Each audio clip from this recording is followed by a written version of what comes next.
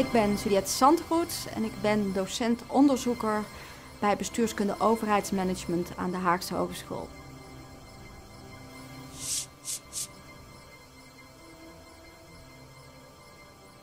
Wat zien we uh, om ons heen? Bijvoorbeeld een stuk braakliggend uh, terrein waar omwonenden in de buurt gezamenlijk plannen maken om daar een buurtuin van te maken, die tuin ook te realiseren en gezamenlijk gaan onderhouden. Mensen die gezamenlijk zorg inkopen en dat gaan regelen en het zelf besturen in coöperaties. G1000 en andere vormen van burgertops, uh, buurtbegrotingen. Het zijn allemaal voorbeelden van nieuwe vormen van lokale veel participatieve democratie, waar burgers zelf weer de publieke zaak voor een deel in hun handen nemen. Nou, die nieuwe vormen van lokale democratie die staan hoger op de agenda.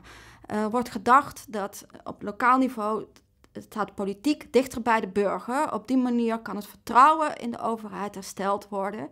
En door het schaalniveau, het betrekkelijk kleine schaalniveau, is het mogelijk om met participatieve vormen van democratie uh, te experimenteren. Nou, wat gaan we doen in dit college? We gaan terug naar de oervorm van de directe uh, democratie, uh, Atheense democratie de stadstaat, zo rond de vijfde eeuw voor uh, Christus. Dan zoomen we in op hedendaagse nieuwe vormen van die participatieve democratie. En daarbij speciaal de vraag hoe geven zij vorm aan politiek burgerschap als onmisbaar element van democratie. En de uitdaging daarbij is vooral hoe vind je dan een goede combinatie met representatieve democratie.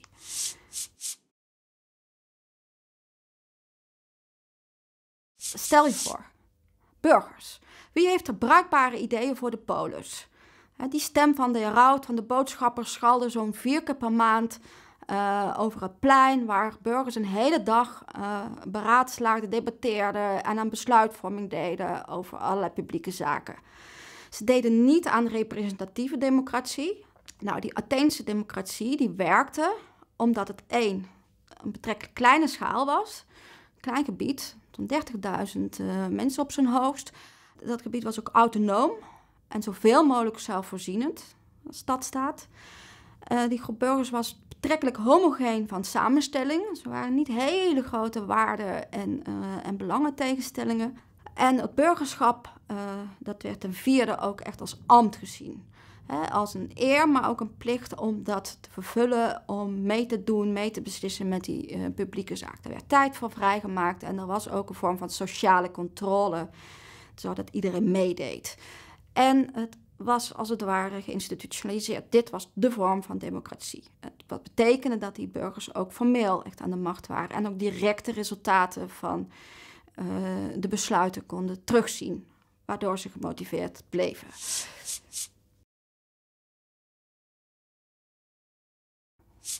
Als we dit dan, die oervorm, vertalen naar de nieuwe vormen van lokale democratie, hoe staan de kaarten er dan uh, uh, voor? Dan zie je eigenlijk dat alleen aan voorwaarde 1, het betrekkelijk kleine gebied in Nederland is, uh, wordt voldaan. Van autonomie van lokaal bestuur kan niet gesproken worden, die is wel groter geworden. maar in dorps- en wijkraden bijvoorbeeld mag geen politieke besluitvorming plaatsvinden. Voorwaarde 3, um, ehm, dus dat homogene gezelschap, nou, daar voldoen dorpsgemeenschappen vaker aan dan dan grote steden. Ook wijken in grote steden is die diversiteit veel groter. Problematisch. En voorwaarden 4 en 5, dus dat burgerschap als ambt en dat direct terugzien in de politieke besluitvorming, die zijn met elkaar verbonden. Maar dat zie je, daar zijn de kaarten niet zo gunstig voor in Nederland, omdat we dat politieke stukje uh, juist in, dat, in, dat, in die representatieve organen geregeld hebben. Nou, dan wil ik nu doorgaan naar een vertaling naar van wat betekent dat voor doe-democratie en voor deliberatieve democratie. Nou, de doe-democratie is een vorm van uh, beslissen door mee te doen. Dus niet door mee te praten, maar door mee te doen. Door dat direct handelen. Dat voorbeeld van die buurtuin, uh, wat ik aan het begin gaf, is daar een mooi, een mooi voorbeeld van. Dat doorbreekt het idee van de burger als klant. Maar ze, en zet daar wel de burger als ondernemer, als sociaal ondernemer tegenover. En dat blijft een vorm van liberaal individualistisch uh, burgerschap, gecombineerd met de burger als lid van een sociale gemeenschap. En dat is communitair uh, burgerschap. Uh, dus een voorwaarde 5, daadwerkelijk bestuurde burgers, daadwerkelijk invloed ontbreekt. Nou, dan kan je afvragen, een democratie zonder politiek burgerschap, hoe democratisch is dat nou werkelijk? Als democratie is regeren, sturen door de demos, door het volk. Nou, als je dan naar deliberatieve democratie gaat kijken, voorbeeld van die G1000 en de burgerbegroting. Uh, deliberatieve democratie is vorm van politieke besluitvorming op basis van dialoog. En uh, door op basis van redelijkheid tot uh, gedeelde waarden en gedeelde opvattingen te komen, tot consensus dus. Nou, daar is wel daadwerkelijk sprake van zeggenschap van burgers. We bijvoorbeeld de burgerbegroting. Uh, dan wordt er een, een bepaald gedeelte, een, klein, een gedeelte van het vrij besteedbare budget uh, van een gemeente of een stadsdeel, uh, wordt gezegd, nou dat gaan de burgers invullen. En dat gebeurt dan in een aantal rondes waarin men gaat overleggen, thema's vaststelt en het dan preciezer gaat, gaat invullen. Gaat het naar groen of gaat het naar veiligheid? Wat gaat er naar fietspaden? Wat gaat er naar ouderenvoorzieningen, bijvoorbeeld?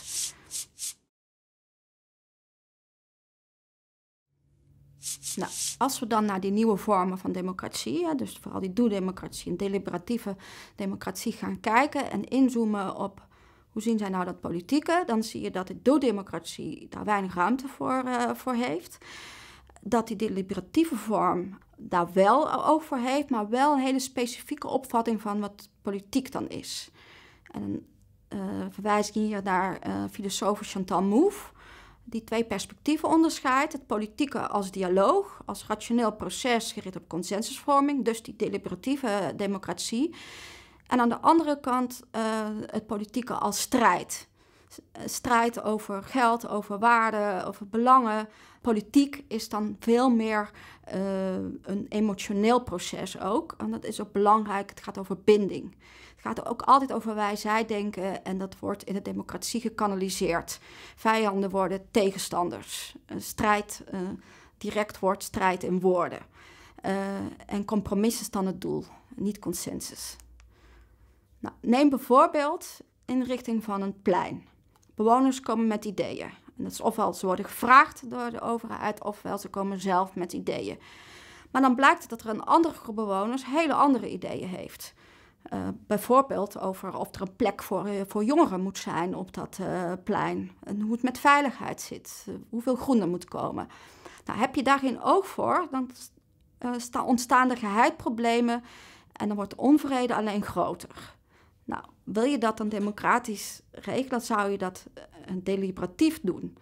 Door, door middel van dialoog, in alle redelijkheid tot een consensus te komen doe je dat op de manier van politiek als strijd, dan ontstaat er meer een vurig debat. En dat mag best emotioneel worden, dan mag best boosheid aan de orde komen, verzet. En uiteindelijk leidt dat tot een compromis. En uh, waarschijnlijk, als er grote tegenstellingen zijn, dan is dit weliswaar wat engere manier, maar een betere manier om dat te regelen. Nou, dat leidt hè, tot eigenlijk twee uitdagingen om dat politieke vorm te geven. Als de politieke als strijd dat beeld uh, verdwijnt, wat doe je dan met de tegendraadse burger? Hoe doe je recht aan verschillende waarden, oriëntaties en belangen? Welke ruimte is er voor burgers met een andere politieke stijl? En welke voor de kracht van verzet? Wat we de contra-democratie zouden kunnen noemen, wat heel gezond is voor een, uh, een goede democratie. Kracht tegen kracht, checks en balances. Tweede uitdaging, is uh, hoe zit het met het spanningsveld tussen representatieve en participatieve democratie. Beslissingsbevoegdheid is nu geregeld via vormen van representatieve democratie, volksvertegenwoordigingen, dus op lokaal niveau staat de gemeenteraad. Participatieve democratie vraagt om meer directe zeggenschap. En dat is een grote uitdaging. Hoe regel je dat? Hoe maak je slimme combinaties? Ervan uitgaande dat we niet die representatieve democratie uh, helemaal overboord gooien.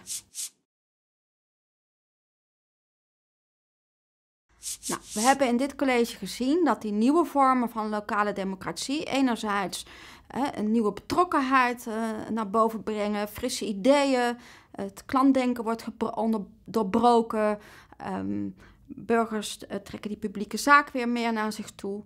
Maar anderzijds dat er ook vragen zijn te stellen van hoe democratisch zijn die nieuwe vormen nu. Uh, omdat politiek burgerschap en zeker ook politiek als, als, strijd en politiek als daadwerkelijke besluitvorming uh, minder goed uit de verf komen. Tot slot wil ik jullie een, een dilemma voorleggen uit de, uit, uit de praktijk van de lokale democratie. Um, stel, je bent wethouder. Het uh, buurtheater is nog niet zo lang geleden gesloten. Uh, dan komt er een groep bewoners die zeggen van... nou, wij hebben goede ideeën voor dat theater. wij willen dat theater zelf gaan runnen. En je denkt dat het kans maakt en het past in het beleid. Maar ja, je weet ook dat er minimaal drie andere ideeën zijn van andere groepen die ook het zelf willen gaan runnen, maar de hele andere ideeën over de invulling hebben. Je wilt een democratisch gelegitimeerd besluit nemen. Wat doe je dan en waarom? you